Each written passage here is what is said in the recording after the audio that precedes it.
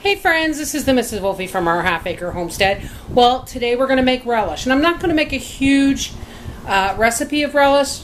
Relish for the simple reason is we don't eat a lot of it, but it's nice to have once in a while.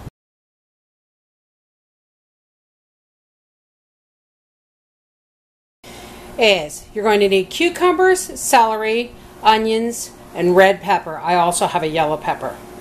You're going to need kosher salt or coarse pickling salt cider vinegar, brown sugar, celery seed, and mustard powder or mustard seed. Okay, now if you don't have a chopper like I do, go ahead and use a um, cheese grater for your cucumbers, but I'm going to use my chopper. Now, I want these diced up nice and fine, so I'm cutting them in fairly slim slices.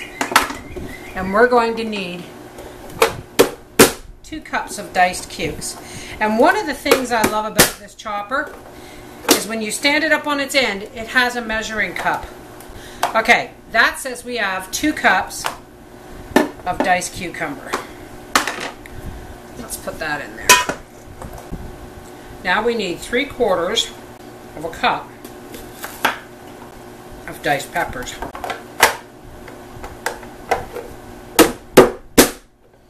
Now you can put green peppers in here if you want, folks, but I like the color.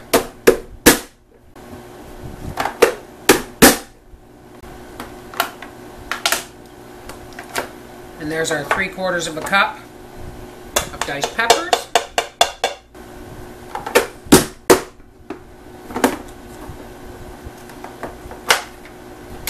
And here we have a cup and a half of diced celery.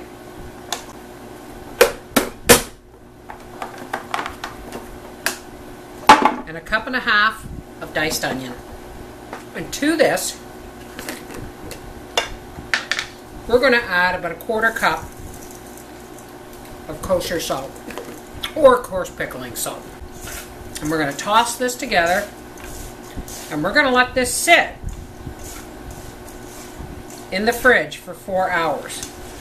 What this salt is going to do is pull a lot of the water out of the vegetables because there's nothing worse than watery relish. Alright, we'll be back in four hours. Alrighty. Our relish veggies have been sitting in the fridge in that salt and look at all the water that's been pulled out. So now we're just going to drain that off and we're going to rinse them swishing it around in some water. As soon as these are finished draining, we'll see you guys at the stove and we'll finish making our relish.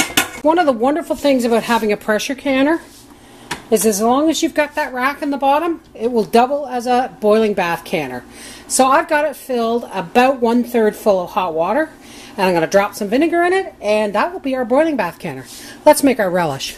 Alrighty, our burner's on. To it, we're going to add one cup of cider vinegar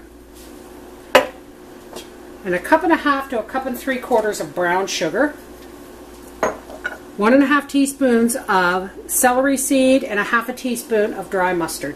And then we're going to add our drained vegetables. Now, we're just going to cook this.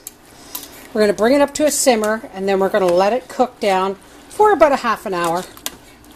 You want to make sure all the sugar is dissolved and that all those seasonings and the vinegar are in the vegetables. Alright? Our relish is ready to go in the jars. And I'm using my little half pint jars. And you want to make sure they go in the jars hot. Now like I said, if you like a thicker relish, you can go ahead and add a teaspoon of cornstarch or potato starch to your sugar mixture before you add the vinegar. We're just going to take our wooden fork here and we're going to fill our jars to one inch from the top. Now we are not pressure canning these folks.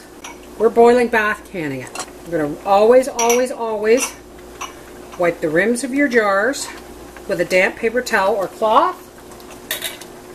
Put on a hot lid and into the boiling bath canner it goes.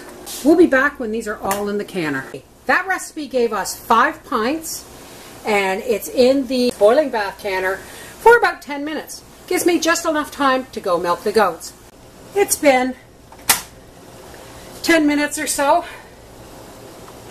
Now we're just going to take our jars out of the boiling bath, arrange them on a dry folded towel, and we'll just let them cool down until they ping. This is the Mrs. Wolfie from our half acre homestead saying, even if you don't use it that often, you still gotta have homemade relish. Thank you.